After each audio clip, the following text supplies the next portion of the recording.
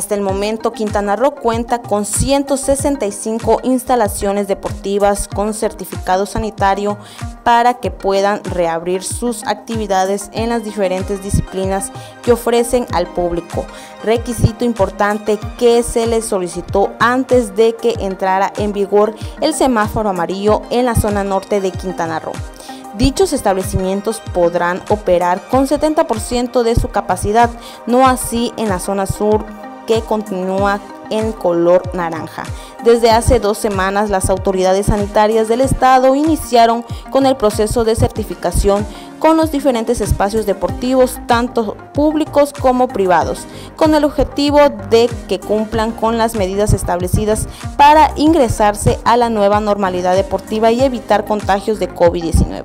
la Comisión Federal para la Protección contra Riesgos Sanitarios y la Comisión para la Juventud